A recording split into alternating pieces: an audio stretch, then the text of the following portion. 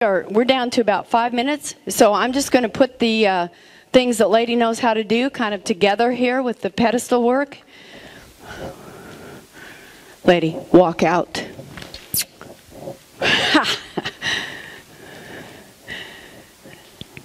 Walking, Well- hor- walking horses, a real walking horse should have a variety of gaits. Trot is one of them. Walk you on. know?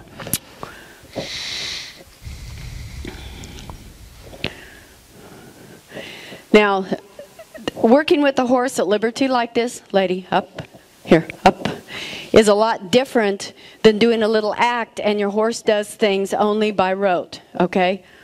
Good girl. It's very good. Step down and whoa.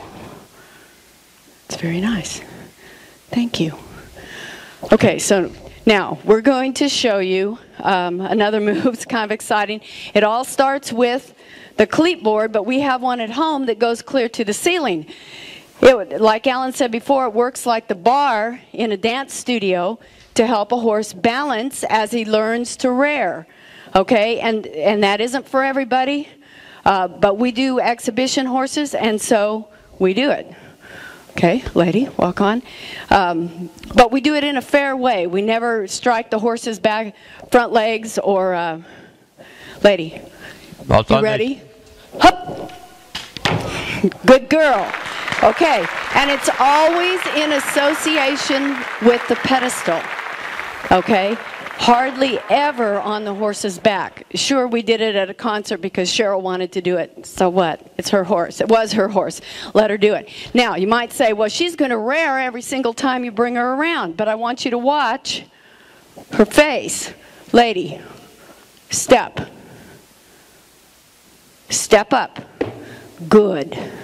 Very good. Now, back. Turn.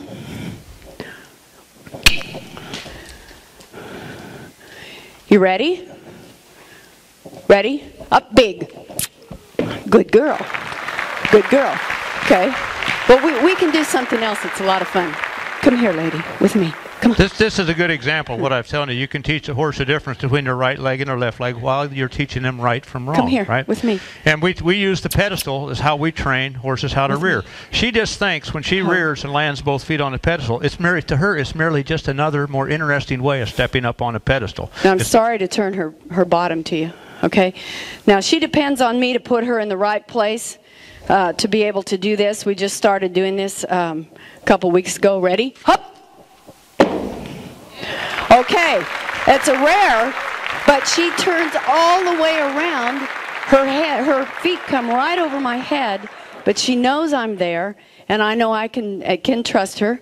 Of course, things you know, because she's learned to, she's learned to target the pedestal. Come right? here, let's do that one more time. This is how we start teaching horses to do a hind here. leg walk. If we get them up in the air Step.